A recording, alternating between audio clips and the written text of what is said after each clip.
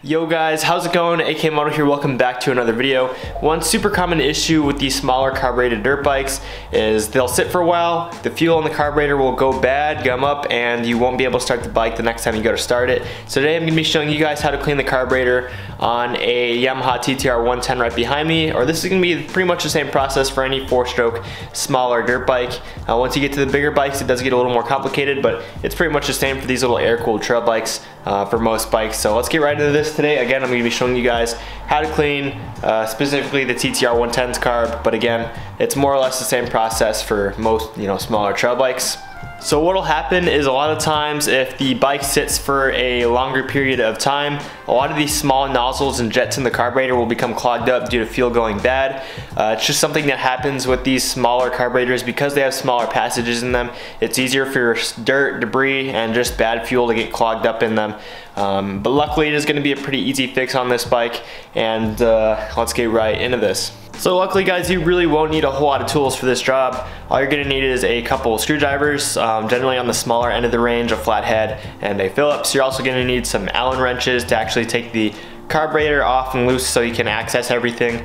And of course, if you have some carburetor cleaner, that'll be ideal. Here I just have some general purpose parts cleaner and then some shop towels are always very useful to have. All right guys, so the first thing we have to do is make sure our float bowl is empty. This will make things a little cleaner uh, through the whole process. So here you wanna make sure your fuel petcock is in the off position and then you have a small screw here at the bottom of the float bowl on the carb and you just wanna loosen that up and that'll allow fuel to come out of the overflow line and then here I just have a gas tank just to catch it.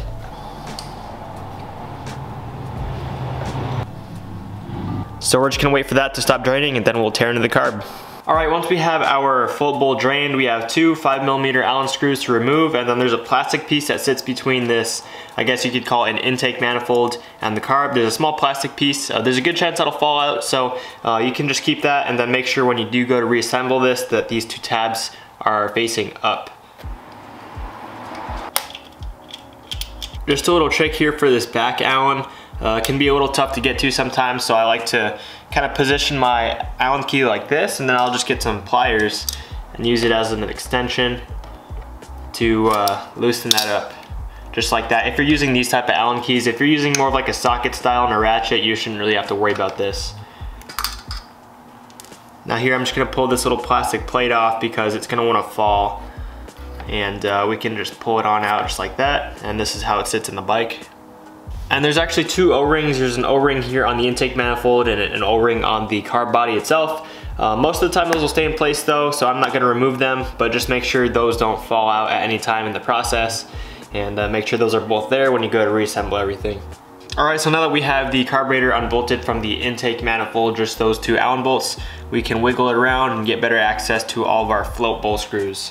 So now to remove our float bowl here, we just have four Phillips head screws on each corner.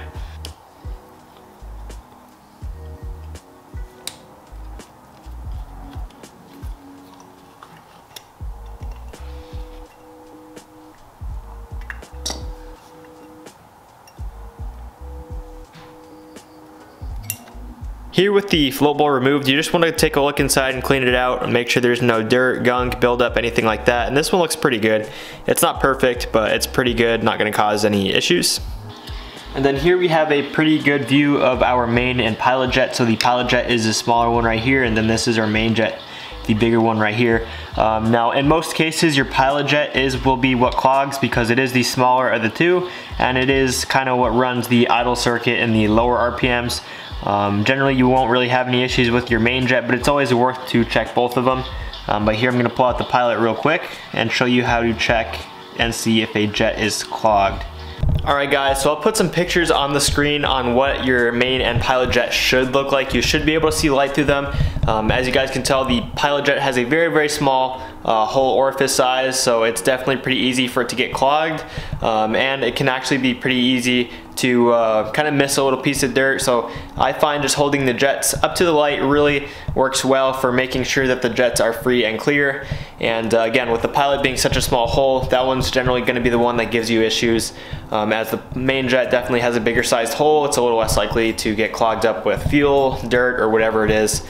And uh, yeah, so everything actually looks good on this bike. I knew going in that this carb didn't have any issues, but I wanted to bring you guys this video. And uh, yeah, so if you do have dirt in the jets, go ahead and clean those bad boys out with carb clean the best you can and uh, make sure that hole is free and clear. But once you've verified everything looks good, we can now uh, reassemble everything pretty much the exact opposite of the disassembly. Now, if Carb Clean just isn't cutting it, you can actually buy toolkits online uh, made specifically for cleaning carburetors, and a lot of the times they'll come with little mini brushes and stuff that you can gently poke through the uh, jets. Now, you want to be very careful with poking things through the jets because they are made of brass and they can be damaged pretty easily, as brass is a pretty soft metal.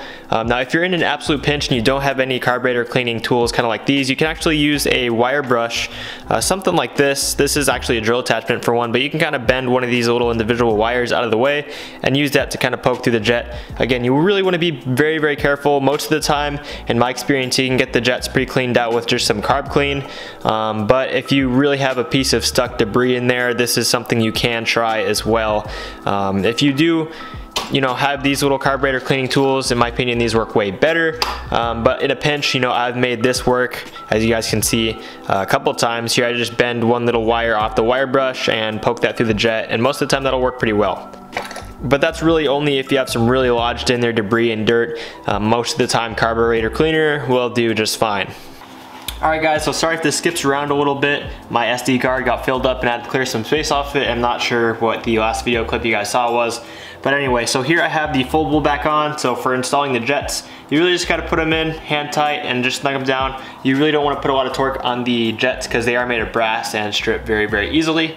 Um, so you really don't need a lot of torque on those. And then same thing with these float bowl screws. You really don't need much torque at all. If you go on putting a ton of torque on these, it's just gonna make it super hard to remove for the next time.